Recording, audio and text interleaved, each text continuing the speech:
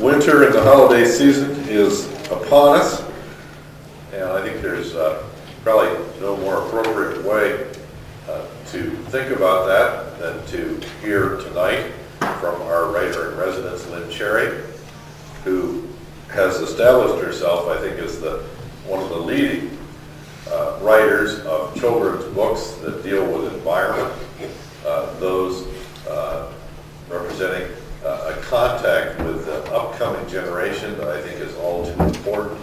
Sometimes I wonder what happened to middle-aged people that I used to, you know, when I was young and they were young, we all talked about the future of the environment. And then something happened. And so now I put a whole lot of faith in, in uh, the outreach to the young generation, uh, to uh, those uh, children that can understand environment, that are passionate about environment, uh, that go home and talk to their parents about environment. And I see that that may be our greatest hope uh, for dealing with the planet we call home. Lynne Cherry has done more than I think many people to uh, promote a better understanding of environment, a better environmental ethic, uh, environmental culture among young people. Native of Philadelphia, graduate of Yale in several programs, art, history, and environment. Uh, founder of what's known as the Young Voices of Climate Change. Author of, uh, I'm going to say this wrong, the Great Capo Tree, A River Run Wild, and just recently, How We Know What We Know About Our Changing Climate, uh, all of which are uh, available outside uh, from courtesy of Merritt Bookstore, who will be glad to sell you one and get it autographed after the after the talk uh, in our usual partnership with Merritt. Uh, but all of these have had a had huge impact across the country, uh, award-winning uh, in, in several cases. Uh, and we're just pleased to be able to have Lynne here as a writer in residence on the Cary campus, continuing our new program of writers and artists in residence, scholars in residence, uh, that attempt to translate science to audiences that need to hear it, and by means that are not perhaps the typical scientific journal. So without further ado, Lynne Cherry, thanks.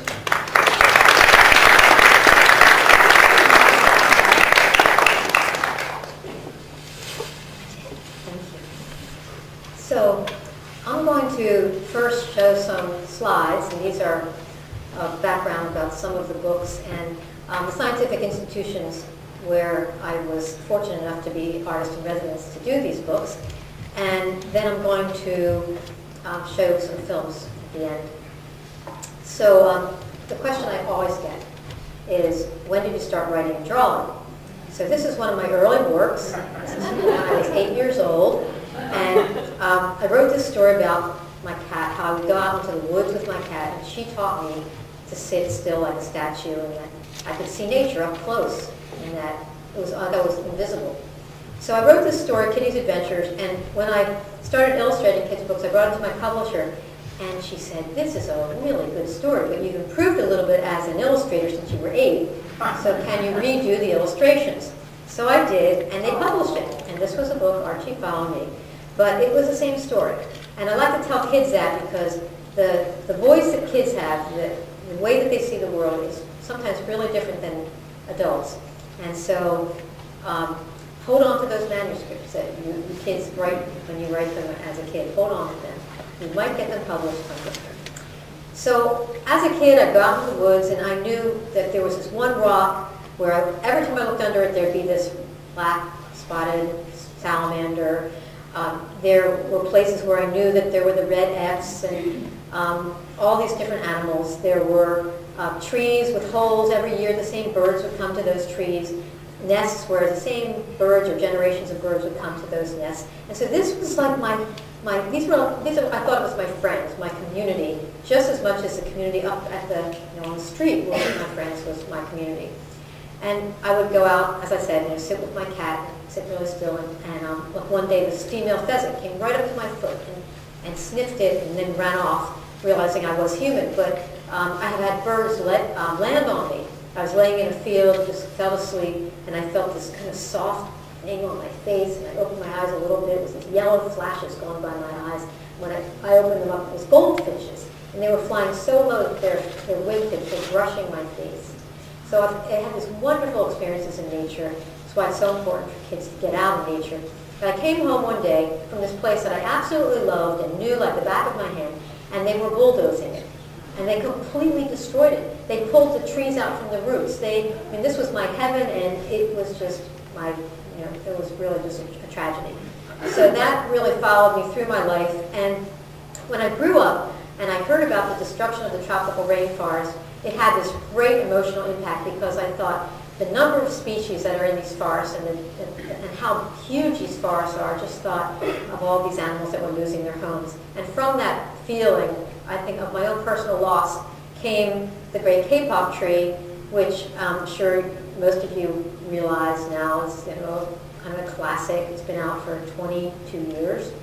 And it's used in most schools in third grade. And I think part of um, the success of the Great Kapok Tree is that it is totally scientifically accurate. When I wanted to write this book, I went to Tom Lovejoy, who's an eminent scientist, and he was then the head of World Wildlife Fund. He gave me my first artist in residency, so I actually did this book at World Wildlife Fund. And he said, he brought me around and he said to all the scientists there, give her your photos, give her your expertise, and at the end, they looked through everything, the manuscript and all the pictures, and I've never had a letter in all these 22 years of anything wrong in this book. So this is an emerald green boa, and you can see it's up in the upper right-hand uh, corner. And these books have been translated into most every language. Um, here's a, a jaguar, and then um, a lot of what's wonderful is that these kids are putting on plays about and musicals about the Great Kapok Tree, and thereby educating the community about the importance of saving the rainforest and the plight of the rainforest. And this was in North Carolina. This was, um, it was like seeing the, the, the, book as if I hadn't read it. I mean, as if I hadn't written it when I saw this play, and it actually brought tears to my eyes, and the whole audience was crying at the end. So I, I realized that, uh, the power of this book. And then, of course, kids, they want to do something. So a lot of kids have started these with pennies for protection or buying acres in the rainforest. And kids have saved over 40,000 acres of rainforest in Monteverde alone in Costa Rica and other rainforests around the world. So one of the things I've been really fortunate enough to do is to lead this Amazon trip uh, in, in Peru. And this is a little sloth that was brought to us. Um, they, they eat sloth. Mean, the, the, native people eat sloth, and they had killed a sloth to eat it, and they hadn't realized that it had a little baby clinging to it because it was way up in the tree. And so they came down the river in their dugout canoe, and they brought us this little sloth that could fit in my hand, and we thought it was no longer alive. But one of the teachers had brought her son, and he said, well, can we try and feed it? So we mixed up some cecropia leaves, and the little boy put the, the bottle in the sloth's mouth, and it revived. And he slept with the sloth every night, and then he had to leave, and I became sloth mother, sleeping with the sloth every night. And by the time I left, it had a big round belly, and it was just fine. And the next year, it was still there at the top of this tree next to the lodge. This is a, this lodge is called ACEER. And for any of you who want to accompany me to the Peruvian rainforest, please do. I mean, it's a life-changing experience. We have ornithologists, entomologists, all kinds of ologists, and they will teach you all about the rainforest. And plus, it's just a really amazing visceral experience. So um, I have flyers outside I can show you. So to, um, to do the research for Flute's Journey, I went to Costa Rica. And this book was really important because I realized after the Great Kapok Tree came out, a lot of teachers were teaching about the rainforest instead of teaching about the forest in their own backyard. And I think it's much more important to know your own backyard and the trees in your backyard and to have a relationship with you know, the outdoors than it is to make um, crepe paper mache models of the rainforest in your classroom. So um, I wanted to make this connection. So Flute the wood thrush, who's right there in the middle, um, you probably have these in your backyard. They, they winter in Costa Rica, but then they fly up and then you know, thousands of miles and then they fly all the way back down in, um, in, in the fall. It's really quite an, an amazing um, feat.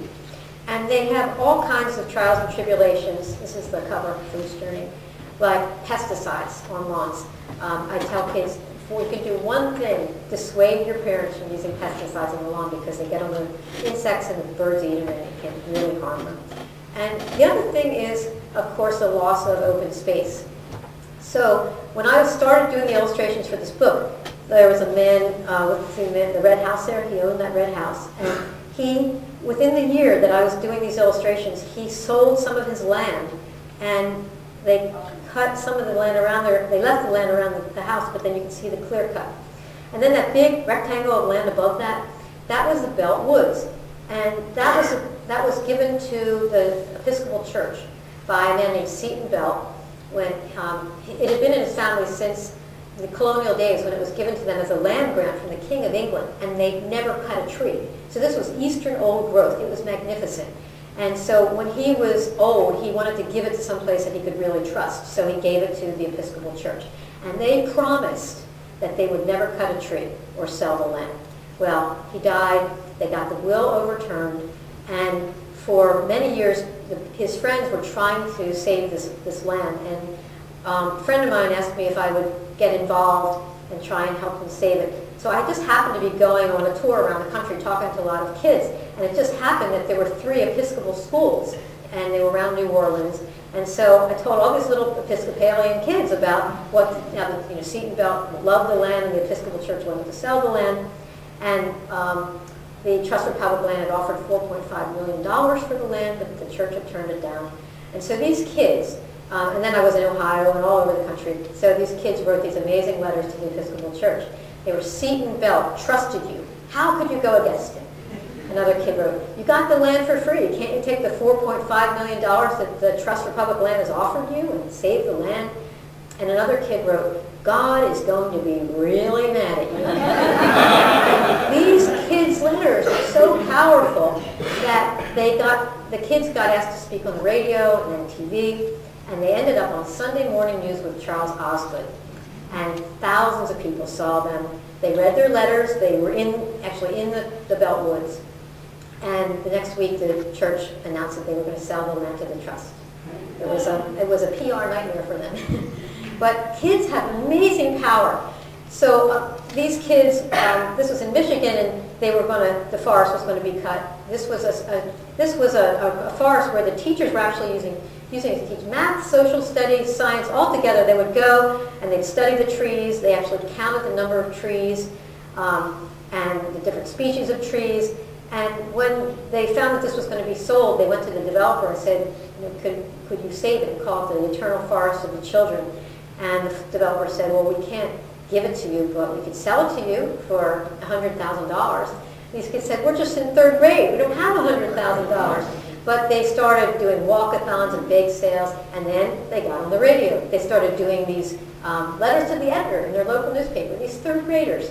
And so many people saw them that they started, um, they got asked to be on TV. And when that happened, they got, you know, all the checks started pouring in. And these kids raised not $100,000, but $200,000. And they saved this land. It's now the forest of the children and uh, protected forever. So I started to realize through these stories as I was going around the country that kids have power. And now Flute the wood thrush can live happily ever after in Belt Woods.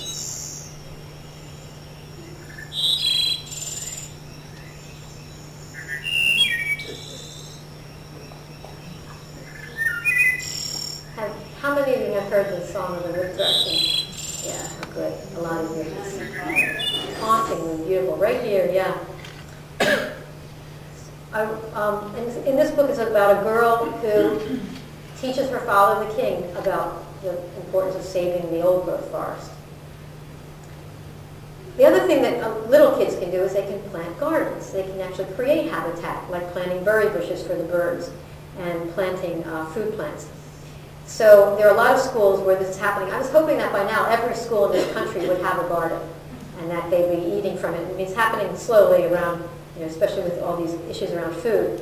Um, on this page is all these beneficial insects. And the, the, they say to the ground, if you promise not to use bug spray, we will clean your garden of insect pests. This is a really beautiful water feature that's in a school in Virginia. And um, is what's amazing is when it's naturalized, then all these insects start coming, and the birds and the butterflies, and it's just creating a natural habitat.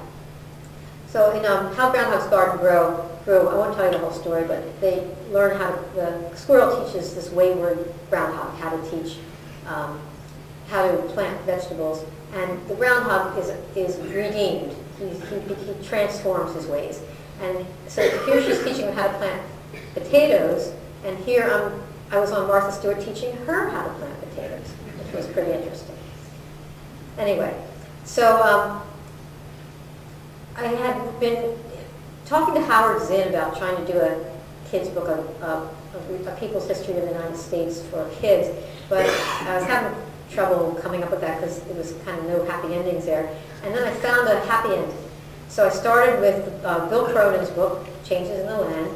And this book, by the way, was done at the Smithsonian Environmental Research Center, where I was uh, artist in residence for three years, and I, they were putting in a colonial uh, farm. So while I was there, I was uh, consultant to that. And here, the, you know, the Indians drive the colonists, the, the colonists drive the Indians from the land, build mills. Mills start to pollute the river. And by the 1950s, this natural river was so polluted that it smelled even worse than it looked, and nothing was living in it. And this is a photograph, in case you think I'm exaggerating. And for any of you who want to have a, a film screening somewhere around here, there's now a movie called The Work of a Thousand, which is about this woman, Marion Stoddard, who organized the community to clean this river up. She's, uh, she lives in Groton, so she could actually come and speak. 83 years old. She's one of my role models. And um, in the book, this uh, one of the last remaining Indians has a dream. And in the dream, one of the first Indians who saw the river all beautiful and clean comes back and sees it all polluted and smelling and he cries. And where his tears fall, the river is cleansed. And he, the Indian who had this dream woke up from the dream and he went to see Marion Stoddard, who was a friend of his, and together they began cleaning up the river. But it really was the kids who drove this, because the kids would go out there with signs like this, hold your nose, natural river ahead. And the people would, the adults would see it and say, wow, but it's impossible to clean this river up. It's too polluted, isn't it? But the kids would go and testify when they wanted to uh, actually allow even more pollution to go in the rivers. And they would say, this river was so clean when you were kids, you could fish in it, you could swim in it, you could drink it. And it shamed the adults. And they started to clean it up. And so now this is a beautiful, clean, clear river. A lot of teachers started taking their students down and doing water testing. And at first they found that it was so polluted that nothing was living there, it was all dead. But then as the laws got passed, because they actually lobbied for the first environmental protection, uh, the, the, law in um, Massachusetts, the Clean Water Act in Massachusetts, got that passed. And then once the pollution started going in, the water did start to clean itself. And as generations of kids um, tested that water, they saw it was getting cleaner and cleaner. And now I go canoeing with Marion Stoddard, and it's clean enough to swim in it and to fish in it, certainly kayak in it and it's being used in almost every fourth grade around the country as part of the curriculum. So here's a great way of teaching science and then going out into your local community and doing water testing to see about your local environment. I wanted to connect space, you know, the whole planet with um, with a local area for kids so that I did this book, The Armadillo from Amarillo, where the armadillo goes up on the back of an eagle and they hook up with a space shuttle and they go up to uh, space, out into space. And I had to use a space shuttle because when I was growing up, one of my neighbors, Marsha Ivins, always wanted to be an astronaut. And she actually grew up and she became an astronaut. And that's her in the middle with the floating hair. She's been up in the space shuttle now four times, about two years apart. And she says you can actually see the changes on the Earth from you from time from you know, every two years when she goes up. Like for instance, these where there's clear cutting. There's these fingers of topsoil that go out into the ocean further and further. And this is one of the pictures she sent me, not from space, but when she got back. But she took it from the space shuttle. Um, and this is like all these rivers where there's um, clear cutting. And so these rivers, you know, of course, they go out to the ocean, and that siltation goes out to the ocean. But mangroves are really important ecosystem because they actually hold that silt place and keep it from going out and covering coral reefs. So I wrote a mangrove book, and, um, have, and it was funny because about a week after I wrote, I had um, this book came out. We had the hurricane um, and the tsunami, where um, all the animals kind of went uphill. They knew what was happening, and the um, mangroves, places that were mangroves were not destroyed. It was only the places that had been developed that were kind of wiped off the face of the earth. But of all these, of these environmental issues that we face, the really, I think the most scary to me is climate change. And so for years I've been trying to figure out how do we do something about it and how do we frame this for kids where it's not going to be scary. So Gary Braasch and I wrote this book, um, how, how We Know What We Know About Our Changing Climate. And it's all about the science of climate change. It's about the, uh, the scientists who've done the research. Um, we went to the Anasazi ruins, and I had just read Jared Diamond's an article um, from, about the Anasazi and how, um, and then he subsequently wrote Collapse about how these societies sort of done themselves in. And the Anasazi's, you know, they just kept cutting trees, cutting trees until they changed their climate. And now we, um, with the CO2, we of course have the ability to do, do ourselves in planetarily, the glaciers melting and all these things. But um, the hope, I really have a lot of hope because I think the young people are starting to really speak out and will hopefully make us um, change our ways with renewables. There's a lot of citizen science. Um, this is about the monarchs uh, migration. And one of the stories in this book is about how monarchs are changing their range due to climate change. Um, kids in Mexico, Canada, and the U.S. are all uh, communicating about the monarch migration through um, this uh, journey north. And this is a little girl in Mexico who's doing, taking, graphing the data. Baltimore Oriole is moving north. Might not be in Baltimore anymore.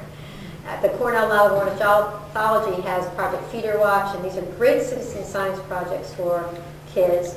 Um, this is a density tube, so kids can learn about ocean, um, the ocean flow. Um, in one of these movies I'm going to show you, Anya um, is from Siberia. She works with a team of scientists at the Woods Hole Oceanographic Institute. And so um, I decided to, after I wrote, read the uh, wrote the climate book, I decided I wanted to do films and I wanted to tell the story about these success stories about kids who were actually reducing CO2 emissions. So um, the boy in the top middle, Danny, he's part of Team Marine and they found that 14 plastic bags are the equivalent of driving a mile. So they successfully got a ban on plastic bags in Santa Monica. This is Team Marine. And um, they dressed up as plastic bags and testified. And that's, uh, you can watch that movie online, or I'm going to show you. I'm not sure which one I'm going to show you yet, but I'll show you some of them. And um, Jordan Howard is a green ambassador, and her school, they just completely greened the school and had composting and uh, recycling, clean, clean plate club, clean canteens, just completely reduced their garbage stream. It was great. Now she's written a book called Green My Parents. And Felix, when he was nine, started Plant for the Planet, and I'm going to show you that movie. It's really beautiful. Um, he's now planted 3 million trees. These girls did an energy audit of their school in Florida, saved their school $53,000 in energy costs. And this is a model that could be at every school. And plus, you know, it's science and it's uh, data collection. It integrates everything. Alec Loorz um, started a group called Kids versus Global Warming. And I'm making a longer movie about him. Um, this is when he was 12. I filmed him for Kids versus Global Warming. He went and talked to Dick Norris, who's a scientist at Scripps. He didn't. He saw. He had seen an inconvenient truth, but he didn't want to take Al Gore's word for it. So he went and actually talked to some scientists like Dick at uh, Scripps. He went to the UN and he um, testified at the UN. Here he is. He's getting. He's growing. If you've noticed, he's growing in every all of these pictures. Um, then he started this I Matter campaign. He had the I Matter March and he's now friends with Jim Hansen, spoke at Bioneers, and TED, you can see his speeches online. And he wrote this Declaration of Independence from Fossil Fuel, which Hansen signed for his grandchildren. And now um, Alec, this is his Declaration of Independence from Fossil Fuel, and now Alec is, um, he's trying to see, well, he's suing the federal government for not being responsible toward future generations and he's actually gotten a, a, young person in every state to sue their state governments for not regulating carbon. And it'll really be interesting to see what happens with these lawsuits. And here he is um, speaking at American Museum of Natural History. And then 14,000 young people came to Washington to talk to their elected officials. So I'm going to show you a few of these films. And um, if you want to see the rest, they're online at youngvoicesfortheplanet.com. And I also have some DVDs if you're a teacher or you want to do um, any kind of public screenings of them. Um, The DVD is, you can, uh, you can show it. The other ones are are really not um, very good resolution. What time is it? Oh, good. Okay, so I can show you about three of these. I think I'll start with Alec.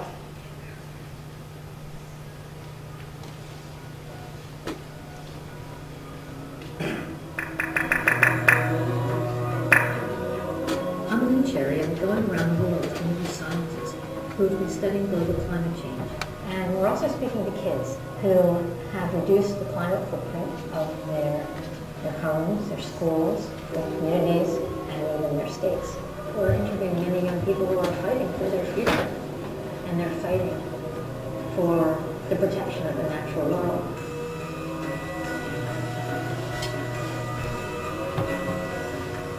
My name is Alec Loorz. I am 13 years old, I'm in 8th grade, and I go to Ventura Charter School. I never knew about climate change at all until I saw Al Gore's movie in, in Inconvenient Truth. Kids are the ones who will be most affected by global warming. By the time we're middle-aged, climate change will be a huge crisis if nothing is done today to help us. I went ahead and I made my own presentation, um, and I made mine especially for kids, and I incorporated videos and animation and hands-on demonstrations so that kids would be excited about it. I have the website, kidsversusglobalwarming.com. The passion has been Alex, and he kept coming up with ideas. Like one night he designed all of these I Matter logos. Mom, look what I did at 2 in the morning. Here's our first 20 second video.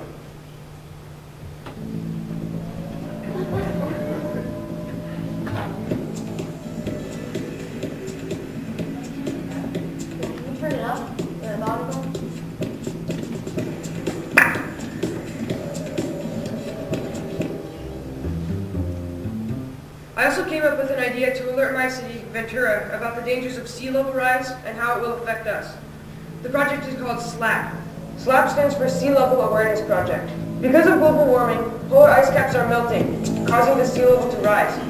And if Greenland completely melted, which could happen in the next century, sea level would rise over 20 feet worldwide. This would be Ventura. So here's what we'll be doing.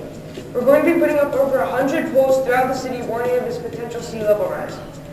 On the pole, there's the I Matter campaign, and then there's also five or six images that show what we can do about it. This is the Declaration of Independence for Poland, and it's from the youth of Ventura.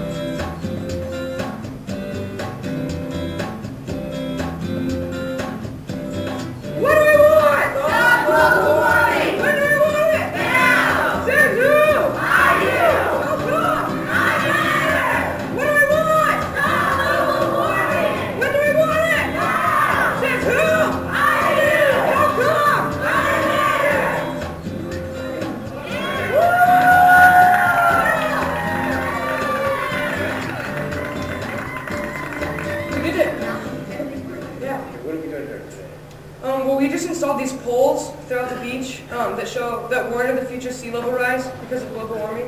There's a line at the top showing that, that whoever's looking at the pole would be underwater right here where we are if we do nothing about global warming and Greenland completely melts, which would cause sea levels to rise 23 feet worldwide. I want to make it clear that kids have power. We have the power to make a difference. If we don't respond to climate change, then my grandchildren will climb into my lap and ask me about the olden days. I'll tell them about when there used to be amazing animals like penguins and polar bears.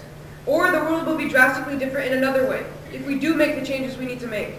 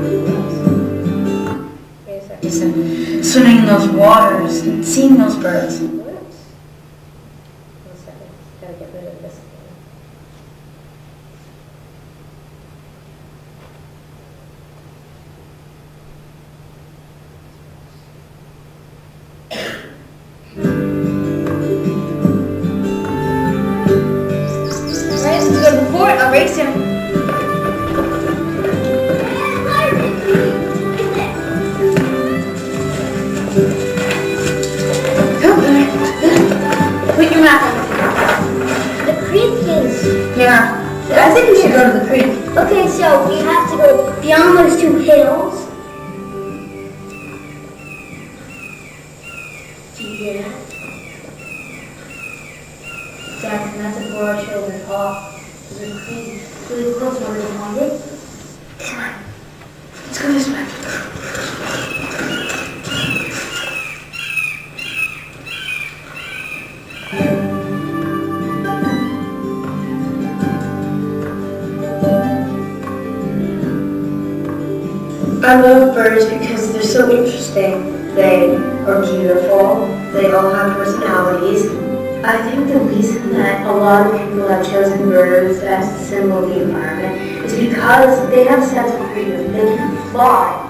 Air.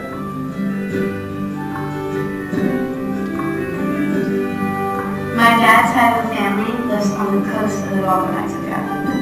Those beaches are beautiful. At least they were. The animals there were amazing. The crabs that would pop out of the hole, scurry and plop back in. The sanderlings that would go on adapting them.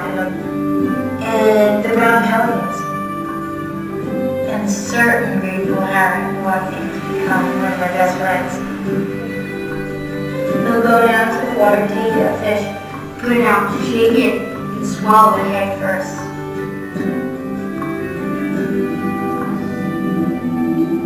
Catastrophic disaster at sea, a column of fire blasting into the sky. The explosion happened aboard a mobile offshore drilling unit called the Deepwater Horizon. More than 175 million gallons of oil. That's When I first heard about the oil spill, you know, it broke my heart. My dad and my grandfather were talking on speakerphone. Olivia heard um, it was spilling into the Gulf. They were as angry as could be because they grew up loving those pristine beaches and swimming in those waters and seeing those birds. After we spoke to my father-in-law, we had dinner, and Olivia, I had never seen her so upset.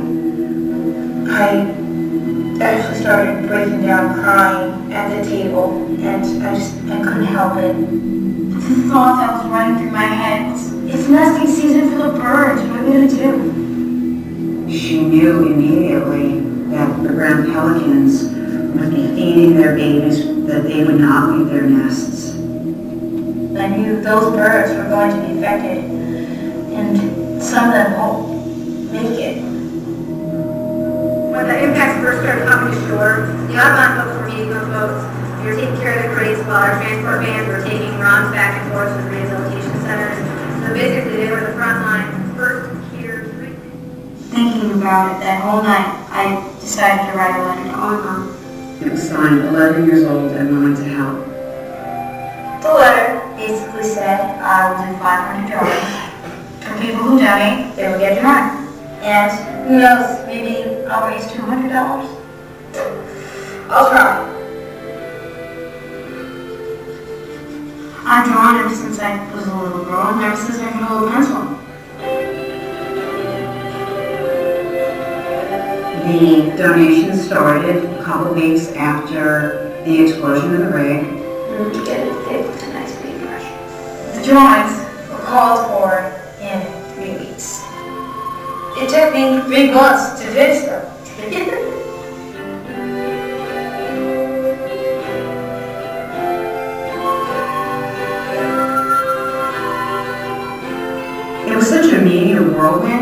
First, it went to the Mobile Press Register.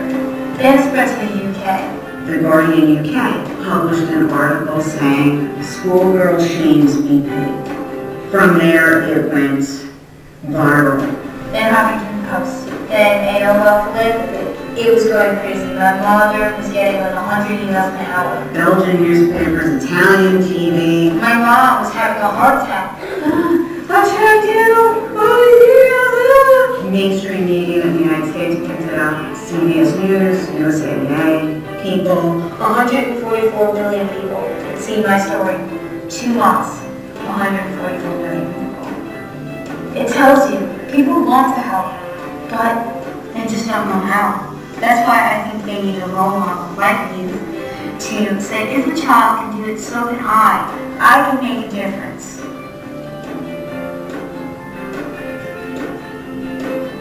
Olivia encouraged us to meet our representatives in Washington, D.C. to advocate for alternative energy and the birds. We actually met with Ken Salazar. We should stop offshore drilling, stop relying on other countries. Have you ever seen a solar panel break down and it ends a whole ecosystem, destroys a whole way of life for people and animals? Have you ever heard of a solar spill? You don't have to do what I did, but everything that you do for our planet counts.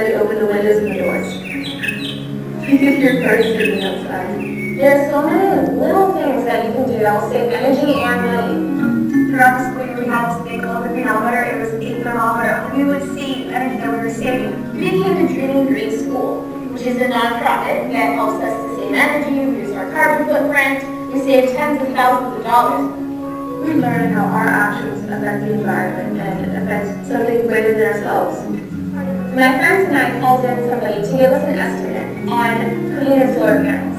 The man came in emphasized that before we do this, we can try to reduce our energy consumption. And one of the great ideas that he gave us was to paint the roof of our school white. We convinced them to actually donate all the materials, the time, and the manpower to paint the roof of our school white. Painting the roof white saved us thousands of dollars. It didn't require as much air conditioning that translated directly to money savings. We didn't just do this ourselves, we built an entire network with um, faculty, administration, students, and other members of the community. Our principal allowed us to look at energy bills, so we were able to do an energy audit on the entire school. And you can go online to put in your address and it does energy audits. It gives you graphs on how much you're saving or what I can do. It gives you tips. Yeah. And can compared to the same amount in previous years. just became an incredible project. It became something beyond my wildest dream. And all of our teachers were very helpful. We spoke with the custodians and convinced them to play a part in Going Green. Sure. If we students should see the air conditioning on, we turn it off. So we are going greener, and I'm proud to say that. We were able to uh, vastly decrease the amount of energy our school used. Going green is a win-win situation for everybody. My third year, we saved $39,000. And then year after that, we saved another 14000 And each school in the district were to implement, we would save $33 million. That's awesome. Melissa, Maddie, Alyssa, and Nicole wanted to go beyond the classroom with what they have learned about energy and environmental science and make a difference in their school and community. We made a presentation for school board members about how the entire district could be more environmentally friendly. They were extremely inspired, and they also saw the financial benefits of going green. The savings were astronomical. It was exciting to go to these school board members. You could jump them down. You could say, look, you have no idea how much money you saving.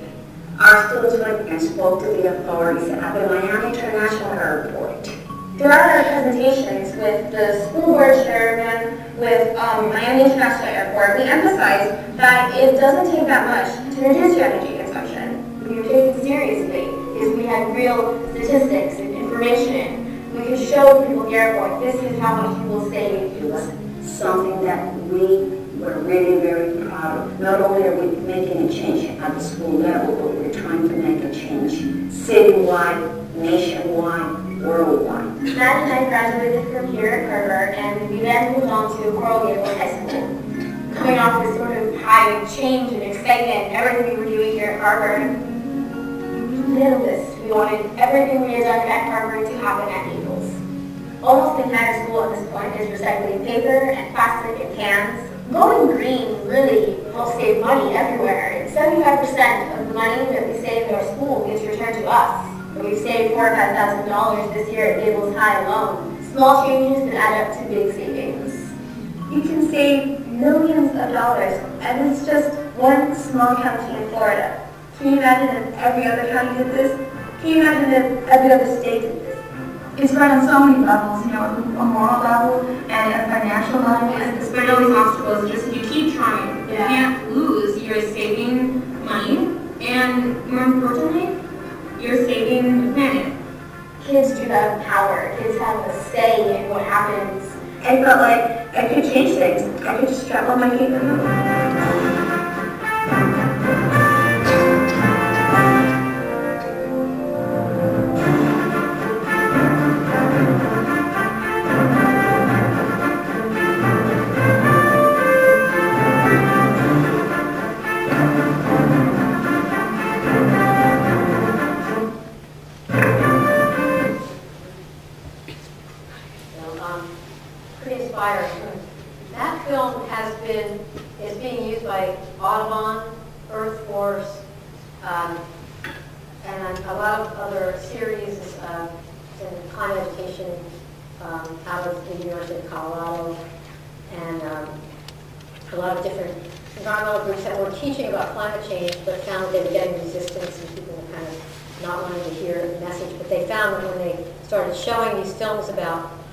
success stories, that it completely changed the way that people were willing to learn the science. So they've been, um, been used quite a, quite a lot, and I'm really hoping to get them into the New York schools. Um, there's a group that's um, just starting called Green Corps, and I'll be speaking at their pilot opening. It's um, here in New York State, and that's um, going to be probably next month. If any of you are interested in getting involved in this Green Corps, it's- it's basically involving kids in real-world solutions to um, energy issues and saving energy in your school, and um, just picking a project and doing something proactive. Um, what we're finding is that that sometimes kids feel like they don't have any power, but obviously from these stories I've told you in the movies, you can see kids have a tremendous amount of power. They just need to know how to uh, what to do with it.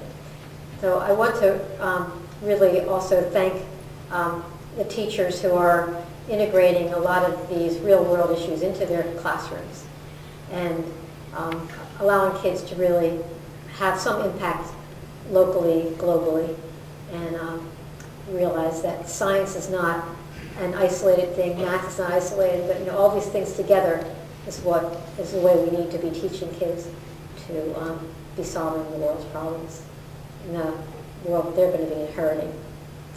So um, I'm going to stop so we have some time for questions. Does anyone have any questions?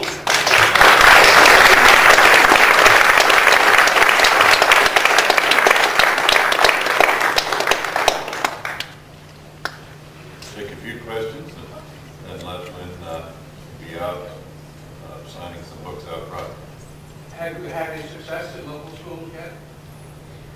Um, I haven't been here that long, but um, I, I'm just about to get involved with the local schools, and what, this is what this Green Corps project is. Um, actually, Olivia is, she doesn't go to school here in New York State. She goes to school in Islip, New York, but she, but her parents in the summer live just north of Saugerties. So that's where I filmed her, in the, their, their summer place in Saugerties. Uh, Could you talk a little bit about your writer residence project program and how long is a year? Yeah, it's, it's for a year, and these are really free form. Um, I was uh, artist in residence at Cornell, and usually I go in and I don't know what I'm going to do, but I talk to the scientists and I, I learn science and I go out with them in the field, and then usually I come up with some kind of project I want to write about or do a film about. So um, the, the climate book actually incorporated the science from a lot of different places where I've been artist in residence, like the Marine Biological Lab in uh, Woods Hole and the Woods Hole Research Center and, Cornell and Princeton um, Environmental Institute. And so um, I'm just, I've only been here a couple weeks, and so it's, I don't know what I'll end up, um, you know, I don't know how what I'm learning here will end up coming uh, through into a project, but inevitably it will. Actually, let me give a plug for that program that picks up on that is, is that this is a newly established uh, writer and artist in residence program here. And, and purposefully, we have very few constraints or expectations of deliverables from the participants. We basically want to have them be able to come here, interact with some scientists, and be creative. And, you know, may the best of them come of it. Question over there. I wasn't going to say anything, but I'm going to do it anyhow. Turns out that our frustration, people who live in Dutchess County anyhow, is the administration are not aware of the impact of development. And it really matters for us because our water supply is related to that. With more development, especially with our recent hurricane, we've noticed uh, massive destruction. And it's not as bad here as it is up in Vermont, in, up in the Catskills. But if there was a way to get the children to understand the erosion, where our water is literally washing to the sea, that which sustains us. We do not have the Catskill water supply or our drinking water that brings it down to New York City. We only have groundwater. When the groundwater leaks and, and destroys at the same time, it's a tragedy. I think it's a big wish of mine. But if there is a way of making it practical or credentialing a few people to incorporate it in the grades, Yeah, actually, there, stay with them. yeah, there's this really great curriculum I can share with you um, that shows about um, how water, you know, the whole water cycle, but also how it percolates down into the aquifers and, and you know, how that, um, all that kind of thing. And that would be a really great project to work on and get kids involved. Thank you. No one here. Um, I, I want to try and provide, oh, sorry, the, the Young Voices for Planet, um, series, because It's not that the children don't understand. It's that the power brokers and corporations, CEOs, the decision makers, don't care and don't understand because they aren't going to be there when Miami floods, or they don't believe it. That's why um, with these stories I'm focusing on win-win. Like for example, um, in Dreaming in Green, um, Nicole is the, um, the girl on the far left in orange. Her dad is a very conservative um, businessman, and he was making fun of her trying to save um, money, energy in her school. And when she showed him the numbers that they had saved $53,000, suddenly he thought, whoa, he has all these buildings in Miami. He went and he switched out all his air conditioning units and put in Energy Star units, saving, saving himself thousands of dollars. And I even, I filmed him. He actually looks like a movie star, and I have to use this footage somewhere, but he says, um, know, all I care about is the bottom line. I admit it.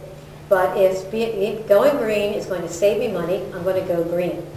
And so, you know, unfortunately, I think that's how this, you know, this country works. And so I think uh, with a lot of these things, that's what we're focusing on, is like, you know, with ecosystem services, which is a, a book that I've been wanting to write, you know, we don't value those services. We're not actually putting a monetary value on them, but we need to be doing that. And that's something that kids can actually get involved in. You know, they can, you know, we can, we can develop uh, curriculum that helps them to put monetary value on the water, on the clean air. Like for instance, uh, you know about how they were going to build a, a big water purification plant in New York City. Was this the turn of the century? And they, and instead someone convinced them that they should build a big pipeline from um, Catskills, yeah, and that they'd get pure drinking water they wouldn't be recycling this filthy river water, and um, it would cost less. And so they did it, and now New York has great water supply. So I think that these are the kinds of stories, these success stories that we need to get out, because if we can, I mean, it's not always going to be the case that it's going to be the cheapest, but um, Texas, they um, were going to build a dam, and they and, and someone did the math and said, look, if you just get everybody low flow toilets, that it costs less than building the dam. You're not damming up the stream where all the fishermen want to be fishing and the fish want to go up it. And so they did this. This whole town bought, built it, they bought the town low flow toilets instead of a dam. So I think it's thinking outside the box. Kids are really good at that. And kids are really effective lobbyists. I mean, every hearing I've gone to where the kids, where the kids show up, it's like when you when you show up and you say, you know, this this river. You know, when when you were young, you could swim in it, you could drink in it, you could drink it. End of argument. They wouldn't allow more pollution in that river. So I think it's giving the kids the power that they have, and I think we can do it. Then many thanks. It's been uh, a wonderful uh, description of what you've been up to and poignant stories from throughout the history work and, that you're working on. So it's a, a really nice presentation. Lynne will be out uh, front here shortly. Uh, whatever your holiday coming up,